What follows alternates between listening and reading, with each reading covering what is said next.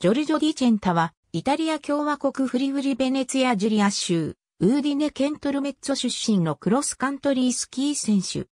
姉のマヌエラ・ディチェンタもクロスカントリースキー選手で、オリンピック金メダリスト、また、陸上競技で1976年、モントリオールオリンピックに出場したビナンツィオ・オーティスはいとこである。ジョルジョは兄や姉の影響で幼い頃からスキーを始め、16歳でイタリアジュニアチーム及びカラビニエリのスポーツチームに加わった。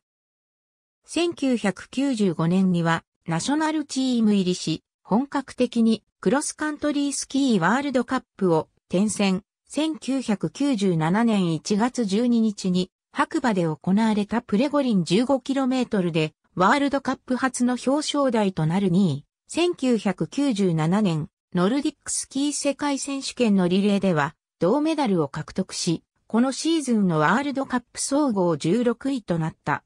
1998年の長野オリンピックに初めて出場し 30km で8位となった。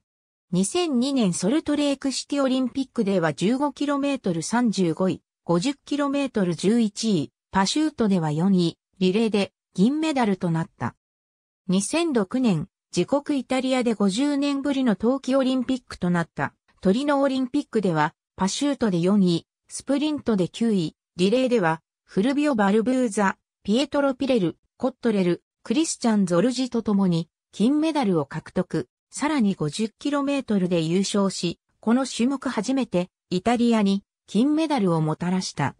50km のメダルは表彰式でイタリアオリンピック委員会副会長の実施、マヌエラから授与された。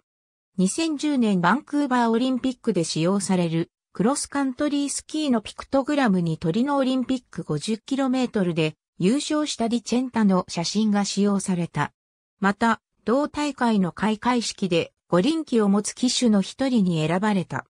2010年2月5日に 15km でワールドカップ初勝利、4度目のオリンピックとなるバンクーバーオリンピックでは 15km10 位、パシュート12位、リレー9位、50km11 位だった。ありがとうございます。